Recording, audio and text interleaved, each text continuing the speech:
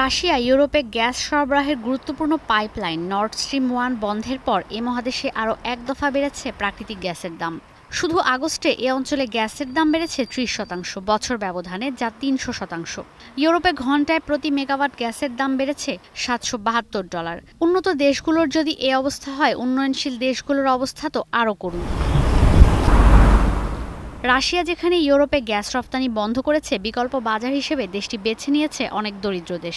কিন্তু ডলার শক্তিশালী হওয়ার পাশাপাশি বিভিন্ন দেশের মুদ্রার মানের অবক্ষয়ের কারণে অনেক দেশই এলএনজি কিনতে পারছে না। আসন্ন শীতের জন্য গ্যাসের মজুদ নিশ্চিত করতে সর্বোচ্চ চেষ্টা চালাচ্ছে ইউরোপ। ইউরোপের শীর্ষ অর্থনীতির দেশ জার্মানি, ফ্রান্স ও ইতালি, মধ্যপ্রাচ্যের দেশ সৌদি আরব, মিশর, কাতার আর সংযুক্ত আরব আমিরাতের সঙ্গে সাশ্রয়ী মূল্যে জ্বালানি কিনতে সমঝোতার চেষ্টা চালাচ্ছে। ইউক্রেনে রাশিয়ার অভিযান শুরুর পর নিজেদের অবকাঠামো খাতও উন্নত করতে উঠে পড়ে লেগেছে ইউরোপ। প্রাকৃতিক গ্যাসের আমদানিও রেকর্ড ছাড়িয়েছে এ অঞ্চলে।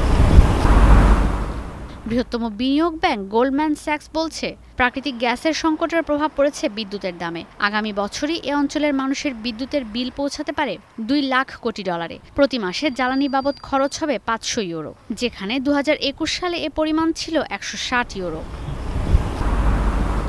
একদিকে বিদেশি মুদ্রার সংকট, অন্যদিকে ডলারের বিপরীতে বিভিন্ন দেশের মুদ্রার দরপতনে সবচেয়ে বেশি ভোগান্তিতে পড়েছে উন্নত দেশগুলো।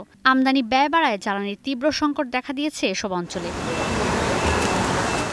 অন্যদিকে অন্যান্য গ্রীষ্মের তুলনায় আগস্টে এশিয়ার স্পট মার্কেটে জ্বালানির দর দশ শতাংশ বেশি, যা শীতে আরও বাড়বে। ইউক্রেনে রাশিয়ার অভিযানের আগে থেকেই করোনা মহামারীর কারণে ঊর্ধ্বমুখী এ অঞ্চলের জ্বালানির বাজার।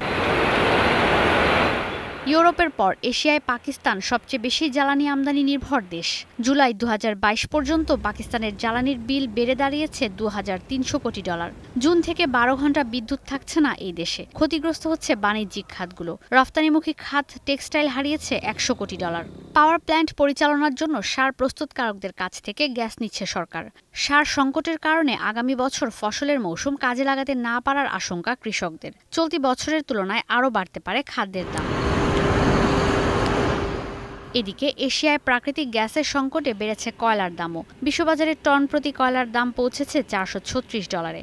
অক্টোবরে টন প্রতি কয়লা বিক্রি হবে চারশো তেষট্টি ডলার দরে। ইন্দোনেশিয়ায় জ্বালানি তেলের দাম বেড়েছে বছর ব্যবধানে ত্রিশ শতাংশ। ইশিতা ব্রহ্ম, এখন বিশ্ব।